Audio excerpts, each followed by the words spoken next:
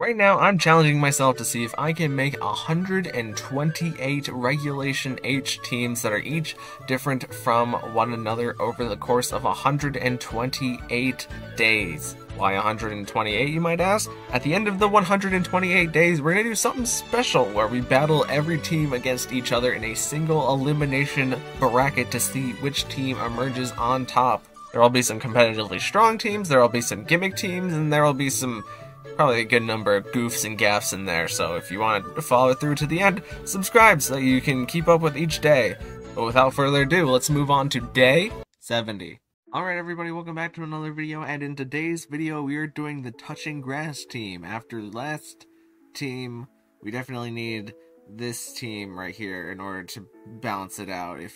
I mean, I feel like I don't need to explain myself any further than that. So starting off the touching grass team here, we have Leafeon, and Leafeon is a nice Pokemon just because it's one of those chlorophyll grass types and it's fairly speedy, so you don't need the chlorophyll on Leafeon to be speedy, it just helps you outspeed pretty much everything and helps you keep up with other Pokemon in Tailwind. As well as on Leafeon, Leafeon is one of the evolutions that is better as a physical attacker, and we're going to be rocking Solar Blade since we're going to be setting up Sun with our Chlorophyll. Makes sense to be using Solar Blade because it is a 125 base power attack that will instantly charge whenever the sunlight is up. So hopefully with Leafeon we can get a lot of damage off very quickly. We also have the knockoff for getting rid of the opponent items on Leafeon and also to give Leafeon a little bit of type coverage, and we also have the Swords Dance to further boost our damage that we're doing with Leafeon, and Protect is mostly just to save ourselves in case there's like a fake out, since we're using Focus Sash, so we really don't want to be getting hit by some stray priority moves and then just getting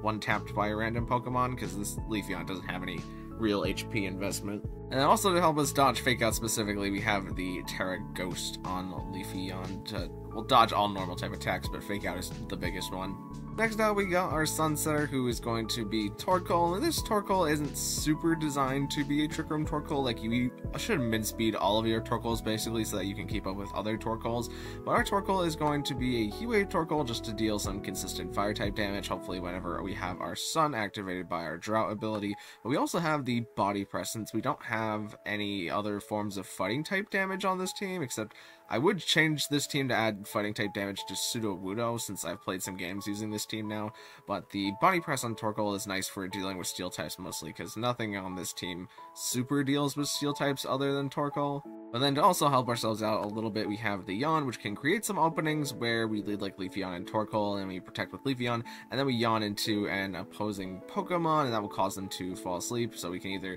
uh, have them proc the Sash on Leafeon if there's only like one attacker and one statuser, or a Pokemon that wants to attack into Torkoal, then that Pokemon will fall asleep, and then we can hopefully start sleep sweeping with Leafeon. And to boost our damage a little bit on the Torkoal, we have the Life Orb, just to get that 1.3 times boost at the cost of a tenth of our health every time we use an attacking move, and we have the Dragon Tera type, just because Dragon gives us a lot of good resistances. Next up, we got a Alolan Exeggutor out here enjoying the sun. Alolan Exeggutor is a harvest Pokemon, which means that whenever the sun is up, we will guaranteed get our berry back at the end of the turn, as long as we've eaten our berry already, which means that we would have an open slot for a berry to be eaten. I'm explaining the harvest ability way too complicated here. Basically, we, we eat our berry. If sun is up, we get a 100% chance to get our berry back again so that we can, we can eat it again, and then it's just like an infinite cycle. But if the sun is not up, it's just a 50% chance. But onto Exeggutor's actual moves, it's pretty simple. We're just using Dragon Pulse and Energy Ball as our two stab damage options. And we also have the Sludge Bomb to perhaps counter some fairy types that Exeggutor really does not want to see. And there's a lot of moves that you could put on Exeggutor, and Sludge Bomb is nice for dealing with fairy types, but you could also put on Flamethrower if you wanted to be able to deal with steel types a little bit. As I mentioned before, this team kind of struggles to deal with steel types. But the Sludge Bomb also goes with our Tera Poison, and Poison is a really good Tera type for Exeggutor. And we have the first option for our Trick Room here on the Alolan Exeggutor, since a lot of Pokemon on this team are slower, especially the Torkoal. It makes sense to be running Trick Room here. Up next, we got Sudowoodo, a fake grass type Pokemon who's actually a rock type. And Sudowoodo is also really slow, so it at least has that going for it, and its attack stat allows it to hit decently hard with its Rock Slide. And we also have the Sucker Punch to try and pick off some Pokemon, just in case we either had Trick Room up and we brought our opposing Pokemon super low, we can pick them off with Sucker Punch if Trick Room gets run out. And then the third move that I decided to put on Sudowoodo was Stomping Tantrum, just because it's a ground type move, which allows us to, again, deal with steel types a little bit more, but I think Body Press might be better on Sudowoodo, and then just putting some defensive investment into Sudowoodo might yield some more benefits, but it's also a Sudowoodo, and I think that there are better Pokemon than Sudowoodo. It's just Sudowoodo kind of feels a little niche role on this team, where everything's already super slow, and generally when you have a Rock type, it's gonna be super slow and super frail, aka Rampardos. But on our Sudowoodo, we're at least sturdy, so whenever we are setting up the Trick Room, we could opt to go for an attack if we think that only one attack is going to go into Sudowoodo, and then we get off two Rock Slides into the opponent. If the two Rock Slides are too going, and maybe it brings it low enough to where we can pick off a Pokemon with a Oranguru, then Sudowoodo's in like a pretty good spot. And then so we're not getting our attack lowered on the Sudowoodo, we have the Clear Amulet to block Intimidates, and we're Tera Flying mostly so that we can dodge ground type moves. In the next slot here, we have Florges, and Florges is a support here for our Grass-type Mons, as Florges has the ability Flower Veil, which will negate the stats being lowered or status inflicted onto our grass type Pokemon, which only covers Exeggutor and Leafeon, but it only really needs to cover Exeggutor and Leafeon, as Sudowoodo has the Clear Amulet, so it doesn't care about the stat drops, and Oranguru and Torkoal especially don't care about stat drops. It would be nice if we could negate statuses on these two, but these two being status definitely isn't the end of the world, because only sleep really affects them, and if there's a sleeping Pokemon, on the field, then we can probably use Leafeon or Exeggutor to just ignore that in order to position ourselves a little bit better. But our Florges is rocking three special attacks in the Alluring Voice to maybe negate Pokemon from trying to get set up in front of Florges. And the Psychic is here, but I didn't end up using the Psychic very much in testing. I'm not quite sure what I would swap it out for on Florges. And we have the Pollen Puff for side healing up our own Pokemon, maybe to side pollen puff Sudowoodo twice and then get it back into its sturdy, or we could just side pollen puff into like Exeggutor or Torkoal in order to keep them alive for a bit longer. And we can Tera Grass our own Florges just in case we need to dodge a status, but more often than not, when you are Tera Grassing your own Florges, it's because the powder moves are going to put you to sleep. So the Flower Veil doesn't really affect Florges that much. Lastly on Florges, we just have the Helping Hand just in case we need to get a little bit of a damage bump on one of our Pokemon to take out an opposing Pokemon. We're also Covert Cloak just to avoid fake outs mostly, but all secondary effects are nice to avoid since we can get like Rock Slide flinched or something like that. We can negate it with Covert Cloak. And last on the team, we decide to slot on a Oranguru because it's got a little palm fan thing. It, it's kind of like grass. Also, Florges is here because Florges is literally a flower. Before our Oranguru, it's going to be our second Trick Room setter, and we are inner focus on our Oranguru, so even if they lead Fake Out Mons, we can still get up Trick Room super consistently, and we have the Mental Herb in order to avoid the opposing Pokemon maybe going for a Taunt into a Oranguru, or an Encore whenever a Trick Room has already been set up. We also have our own Taunt in order to stop opposing Pokemon for going for status moves, and the Psyshock is just some nice stab damage to do into opponents, maybe to chip them for a little bit, and the Protect to maybe just save a Oranguru for a turn is also very nice. And we're Tera Water on a Oranguru mostly because we want to be dodging like neutral fire type heavy damage like Eruption or something like that. But yeah, that's the basic gist of the team. Let's get into some battles. Alright, so first up we have what looks to be like a mostly dragon type team. Like it seems like they have Annihilape here and the Ursaluna just because those are both really strong pieces. But the amount of pressure that they are exerting on us from Dragapult, Garchomp, Dragonite, and Kommo-o is like a lot. So the game starts out, they immediately Dragapult and Ursaluna as we get Oranguru and Sudowoodo in, and they immediately Tera Dragon their Dragapult, and I protected with the Oranguru because I thought they would double the Oranguru since they don't want Trick Room going up. But they actually went for the Dragon Darts here, which Sudowoodo does live, but they also went for the Hyper Voice, which if I had spread that damage between Oranguru and Sudowoodo, I think Oranguru would have definitely taken it, and we could have gotten up Trick Room on this turn, which is too bad. Uh, also, the Dragonfly uses Tera Dragon here, so we Oranguru gets double darts, but it lives on 1%, which is actually super clutch, and the Alluring Voice is able to pick up KO into Dragapult, but I don't think that quite mattered, and we take the Blood Moon, uh, even at plus 1, from the Ursaluna on Florges, so now Florges is in a better spot, but Florges is kind of fast because it's not really meant to be in Trick Room, so Ursaluna gets to KO here, and now it is up to Exeggutor, who just one-shots Ursaluna, which I was honestly not expecting, and we get some shots Psyshock damage into the Kommo-o. As Kommo-o reveal that it's probably a body press set, which is good for our Tera Poison here. Kommo-o protects again, and we Dragon Pulse into Garchomp, and that just flat out takes out Garchomp, which is also super sweet. We, we try to taunt into Kommo-o to keep it from building the defense boost, but Dragon Pulse is enough to bring Kommo-o to 2%, and we should have Psyshocked in order to finish off the Kommo-o there, because now we're outside of Trick Room, but because we have two Pokemon left in the Kommo-o,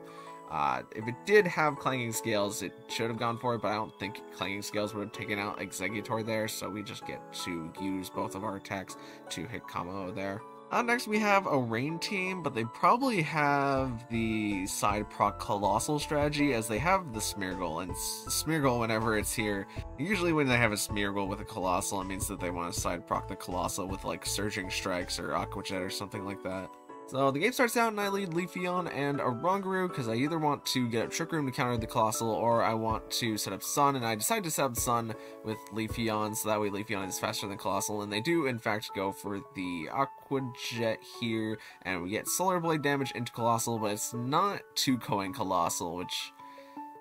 I wish it was to Coin Coalossal, but it's not. And they bring in Pelipper here, which definitely was a play that I was not expecting, as they power gem into Torkoal here in order to just take out Torkoal, and Leafeon is stuck going for the Solar Blade here, as they swap Pelipper back out, and they swap Smeargle back in, and Flamethrower brings Leafeon back down to Sash, and we do get off the Solar Blade, but it doesn't do much damage at all. Now the Coalossal is Tera Grass. is just gonna protect for this one turn. I don't remember why I decided to protect on this turn. I think it was because I knew Leafeon was going to go down here to the Aqua Jet.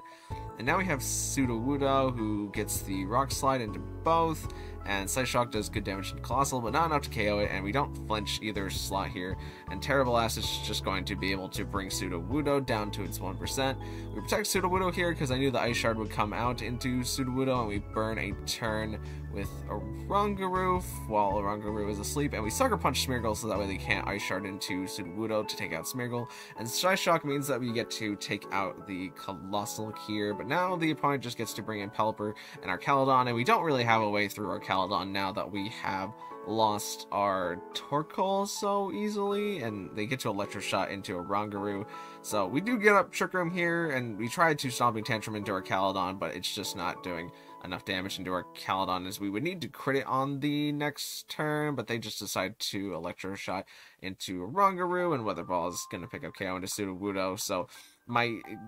gambit that I was kind of thinking about was to Rock Slide into Pelipper and then hope that we get the flinch on Archaludon, but if we get the flinch on Archaludon with Rock Slide, even though that would be a good thing, it would also be reducing the damage that we deal with our Stomping Tantrum, and the game's pretty much over at this point, so it, it kind of benefits us to try and play to the opponent messing up by going for like Wide Guard and then maybe Archaludon using the Electro Shot into Oranguru to take it out, and then we could use the Rock Slide spam to try and get out the rest of the game, but it, I mean, there's not really a way for us to beat Archaludon, as I said before. So I think in this game I definitely should have played better by using Oranguru to try and set up the Trick Room instead of just flat out going for the Sun mode right away, as the Sun mode was more easily countered by the fact that they have Pelipper whereas the Trick Room would be a little bit more difficult for them because we could use like the Torkoal and our slower pieces a little bit more effectively. Here we have an opposing Sun team where they have the Hisuian Typhlosion just to deal a lot of their fire type damage, but they also have the Volcarona who you usually don't see on Sun teams. You normally just see it on balanced teams. And this is almost a balanced team, but they need a water type, but they have like their Dragon Breaker, which is Dragapult, and Sneasler is always just a really strong piece. So they start with Rillaboom and Sneasler, and we start with Leafeon and Sudowoodo, mostly because I thought they were going to start with Hisuian Typhlosion, and seeing these two in the front isn't great, but it's also not terrible. Uh, we're forced to double protect on this turn one because we don't want to get faked out by anything, and of course Rillaboom throws out the fake out as the close combat comes out into Sudowoodo here, and now we swap in Torkoal to hopefully take a grass type or fighting type attack since Torkoal's got a lot of physical defense, and we try getting Solar Blade into Sneasler, but Sneasler protects, and the Wood Hammer ends up just going into Torkoal, but now Torkoal's in a pretty good spot because it can start spamming out Heat Waves as we protect with Leafeon because we don't want the Rillaboom to be U-turning out on it as they just went for high horsepower into Torkoal, but we get a Heat Wave into both slots, and we do crit the Sneasler, but the Sneasler is Sash, which doesn't really change much because Sneasler is still super frail. Sneasler is going to protect again as I tried to go for a Solar Blade into it in order to take it out as the Rillaboom takes the high horsepower again and we live on 2%, but the Heat Wave from uh, lands on a the Rillaboom, but the Life Orb is going to take out our Torkoal. And now they get to bring Volcarona, but we get to bring back in Sudowoodo. And the Volcarona Rage Powders, but Leafeon is able to ignore the Rage Powder. And I thought there was a chance that they might bring in the Dragapult here since we were previously Solar Blading, but Sudowoodo just gets to Rock Slide into the Volcarona, and they reveal their Tera here in order to not be weak to our Dark-type moves, but we get to knock off their Choice Band, so now their Dragon Darts isn't going to be doing very much damage since it's just two 50 base power attacks, and they do reveal Tera Blast, and they Tera Blast into Wudo, but we get to knock off into Dragapult, and Dragapult uh, can Dragon Darts into the Leafeon, but they would have to like Tera Blast into Florges at this point to take out Florges. So since we have both of our Mons left on the field, we are able to take out the Dragon Dragapult pretty easily. This is a game where the opponent has like a pretty good spread of Mons. Like they have all Hisuian Pokemon except for the two Fire and Ghost types from Paldea being Skeledirge and Ceruledge, which I'm not really sure why both of them are here. But the battle starts out, we lead Oranguru and Sudowoodo, and the opponent leads Ceruledge and Decidueye as they just decide to Bitterblade into Oranguru, and they Leaf Blade into Sudowoodo, which is probably our best outcome there, as we get to Rock Slide to hit Ceruledge for a lot of damage and chip Decidueye just a tiny bit, but Oranguru gets up our Trick Room, and we Sucker Punch Ceruledge to take them out, since they could have been Shadow Sneak. Uh, and the Psyshock does crit Decidueye, but uh, it doesn't quite kill Decidueye, so Decidueye still gets to live on 2%. And now you just get to Dragon Pulse Skeledirge for some damage, and then Psyshock the Decidueye again. And since the Decidueye didn't Sucker Punch on the previous turn, I felt pretty safe just going for the Psyshock into it this turn. And Skeledirge is starting to get built up, but the opponent just decides to quit here. I'm not quite sure why. If I had to guess, they either have Ursaluna in the back, and our Exeggutor is definitely slower than their Ursaluna since we're mid-speed, and our mid-speed Exeggutor can never be faster than their Ursaluna, so even if they protected for one turn, we have two turns of Trick Room left. Or they just had Sneasler in the back, and Oranguru could just click the Psyshock into the Sneasler in order to get rid of it. So, like, it's perfectly possible that they could have, like, had slack off on Skeledirge, and maybe they just didn't feel like playing out the rest of the game at that point, because I think slack off on Skeledirge might just win us the game. I can't remember what else we had in the back. I think it was Leafeon in the back for whenever the Trick Room ends. So we could knock off the Skeledirge there, and then we have the Sash to get another knockoff into it. Or we could Swords Dance first and then knock off into the Skeledirge. Actually, no, you can't, because Skeledirge is unaware. But suffice to say, I think this game ended a little bit too early before we could have gotten to see what happens. Then again, if the back to the Skeledirge having slack off, we could just use a Oranguru to taunt the Skeledirge to make it so that it can't slack off. So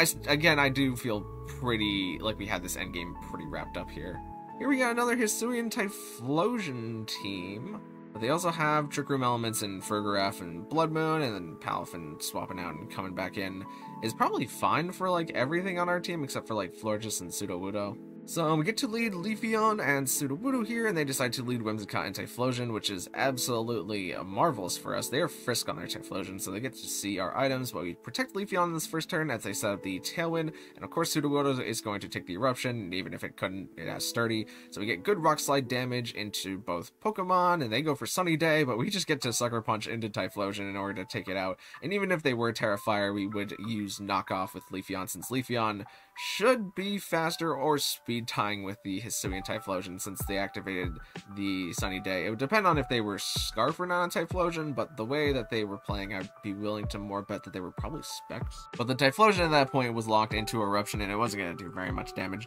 with its Eruption anyways, so they would get to probably break Leafeon Sash, but the Pokemon that they have in the back really struggle to threaten Leafeon while the sun is up because we could just Solar Blade into them. Up next, we got a rain team, but this rain team is a little bit difficult because they have the Murkrow, which means that they can set up the priority rain. So even if we had the ability to get Torkoal in under Trick Room, they can just use Murkrow in order to get rid of our rain super quickly. And with their two water type mons, it's kind of hard to position Torkoal correctly here. As well as they just have two really good steel types in the Kingambit and the Archaludon. So they decide to lead Murkrow and Basculegion, and we lead Torkoal and Oranguru specifically because I wanted them to set Rain with Murkrow on this turn and then attack with Basculegion. So uh, we swap into Exeggutor here, and then we Tera Water our Oranguru so that we can get the Trick Room up. But they actually decide to flip turn instead of like wave crashing or anything with the Oranguru, so they get to bring in Kingambit here, and the Trick Room goes up with Oranguru, and they decide to taunt a Oranguru, but a Oranguru is uh, mental herb, so that doesn't affect us for one turn. And I tried to taunt into Kingambit, but Oranguru is not the slowest that it can be, or at least this Kingambit is slower than Oranguru. Actually, let me check that in Team Builder. Okay, I just checked it in Team Builder, and our Oranguru is not the slowest that it can be, so this Kingambit might very well just be like neutral speed investment and still just be slower than a Oranguru. So that is a bit of a mistake on this team that I now have fixed on the team sheet for later, but it's good that reviewing this battle made me see that uh, Oranguru's uh, speed IV needed to be changed. But we're trying to get rid of Murkrow here so that we can bring Torkoal back in for Sun, but I, with the Kingambit doing the uh, Swords Dancing, I figured it was going to Sucker Punch, but it actually Kowtow Cleaves, which is really unfortunate there because we really needed our health on Torkoal in order to body press into Kingambit. And my reason for the double switch was even if they decide to like sucker punch into Torkoal on the turn after this, we could use Rock Slide with Torkoal to make it so that Murkrow cannot set up the rain again. But the fact that they decided to Kowtow Cleave into the Exeggutor slot on this turn definitely hurt us a lot because we could have Dragon Pulsed into Murkrow again in order to get rid of it, and then they would have taken out our Exeggutor probably, but then we get Torkoal in at full health and the sun up, and they can't reset our sun anymore. So they decide to Sucker Punch into Sudowoodo, and they set up the rain here, and I try yawning into Kingambit and then stomping tantruming into it, and I think that is also the wrong play, as I should have just body pressed into it, as I was expecting them to sucker the Torkoal, since the Torkoal was the one that was on low health, but uh, the Yawn ended up just being kind of pointless there because they swapped out Kingambit, so they at least get rid of the attack boost and we get to body press into a ghost type which is not great but the rock slide is going to KO Murkrow so if we can get Torkoal out and then bring it back in we can regain weather control but it's kind of too late in the game to be worrying about weather control so I just let Torkoal down here to the Sucker Punch and we get to Sucker Punch there Basculegion and I'm not sure if that crit mattered. We'd have to calc it but not my job here um, they fake out into a Oranguru, and I decided to protect with Sudowoodo here, and I taunted into Kingambit since I knew that a Oranguru was faster. I didn't want Kingambit getting its swords dance back up on this turn, but that would have been like a decent turn for us to attack into Sneasler, and I think this is another play that I don't think about. It's just using the Psyshock to attack into Sneasler in order to bring it down to its sash. But we go for the double protect with Sudowoodo, and Sudowoodo actually gets the double protect, which I don't know if it's actually great that that happens, because we could have gotten a free swap into Exeggutor here. And I go for the Trick Room with Oranguru, which the Trick Room doesn't really matter at this point, because the, because the Kingambit can just Sucker Punch everything that we have left at this point. So again, I think I should have just attacked into Sneasler, because now we're procking its Sash, as you'll see, but it gets to Dire Claw into Oranguru, take out Oranguru here, and now it's just the Exeggutor left. As they Sucker Punch Exeggutor, but Exeggutor takes it okay, and we get the Berry to proc, which means we can take another Sucker Punch as Kingambit's taunt ends, and they go for this Swords Dance here, and I thought that they would Sucker Punch again, so I went for the Trick Room, and now the Trick Room is over, they just they just get to kowtow cleave into the Exeggutor because the reason I trick him was uh, that I want to stall turns not only for them to not do anything to maybe try and stall out their sucker punches overall but I also wanted our harvest to proc. So that way if they sucker punch us again there would be a better chance for us to live but but they fall and just decided to swords dance on the first turn that they're able to swords dance which makes perfect sense for them. So I don't think my play I think this team had the ability to beat this team despite all of the really hard counters they had to a lot of our stuff. I think that some of the plays just didn't go in my favor, but I, I also think that there were some plays that I made that were just bad plays in this game. Lastly, we have a bit of an Indeedee Psy Spam team, but they also have Rillaboom, so their two terrains are kind of colliding with each other, and I'm not really quite sure what to think about this team. Like, all the Pokemon on this team are good, I just don't really see the vision on how they work together, except for, like, Sneasler with Unburden for one of the two terrains. Uh, they immediately lead Salamence and Sneasler, and we lead Oranguru and Torkoal. Since they don't have any weather, we might as well uh, get our weather up with Torkoal right away. And they decide to close combat into Oranguru, which lowers Sneasler's special defense, and they get the Poison Touch, and they doubled the Oranguru slot to keep us from getting up Trick Room.